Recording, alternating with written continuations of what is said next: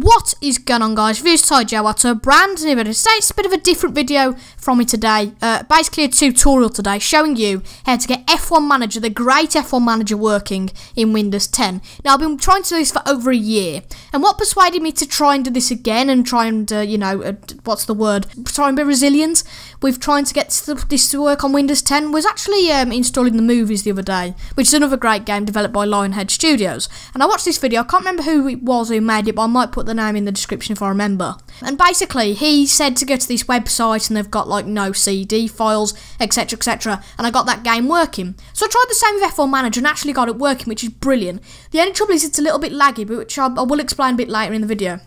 I kind of disclaim before we start though with the tutorials how to get this working. There are a few dodgy files, if you'd like to call it that, that are involved in this game and, and getting it to work. Uh, the only real dodgy file is from a website called GameCopyWorld, which means I've got to download an exe file, which eh, technically is a little bit dodgy, if you'd like to call it that. But um, really, you know, it's it's not really illegal in such a sense because it's not losing EA profit anymore, if that makes any sense.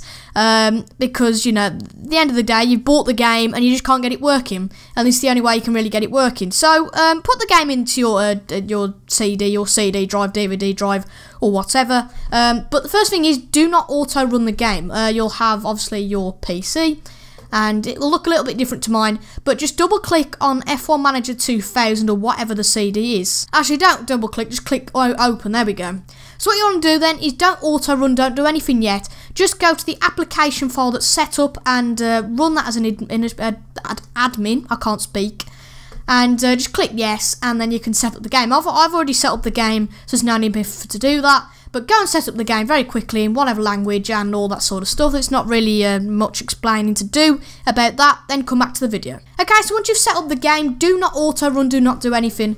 You'll just have the F1 manager in your um, in your area, like in the what's it called in the desktop. I'm completely going blank. Um, so what you want to do now is go to the description of the video. There's actually a link to a website called GameCopyWorld. I've already got it open, and basically this is um, a exe file to get the game working. So what you need to do is go to this link. There's a few adverts on it, but just click on the blue icon and uh, any of the mirrors. It doesn't it doesn't matter um, which mirror you go for. Um, you have to go past an advert, and there's a few adverts in it. It can be a bit annoying, but uh, this will not take long. So what you've just got to do is wait four, five, five seconds, and then you can continue, skip your advertisement, and then it's just a simple direct link. Just click direct link. I think you can use alternate uh, alternate links, but it doesn't matter.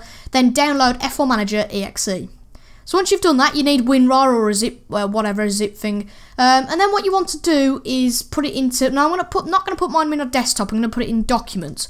Because obviously the F1 Manager game's in the desktop, and just to make sure you're distinguishing the correct file, put it in your documents. So there's F1 Manager in your document. So what you want to do now is uh, replace the original file in the program files. So cut or copy your F1 Manager file from documents that you've just downloaded, make sure it's that one you've just downloaded, um, and then go to program files, I think it's x86 uh, for me, EA Sports, F1 Manager, and then copy and paste it.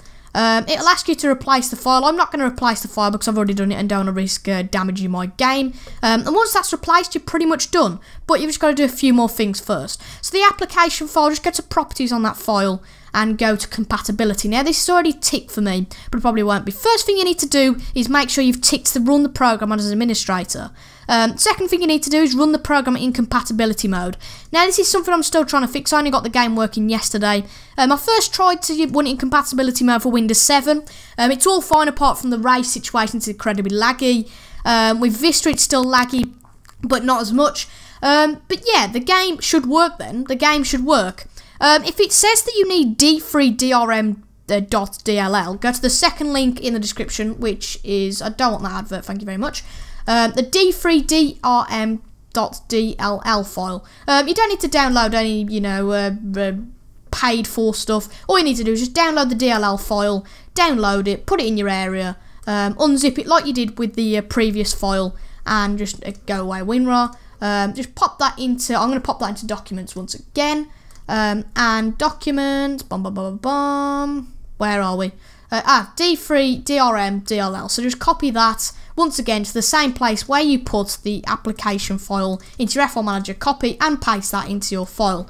Now that should work, that should work for your game. If it doesn't, let me know in the comments and I'll help you as much as possible. But I'm really happy I've got this amazing game working again. Um, thank you so much for watching. If this has helped you, that's fantastic because it took me so long to get this working. I'll definitely have a few hours on it today. Anyway, guys, thank you so much for watching and goodbye.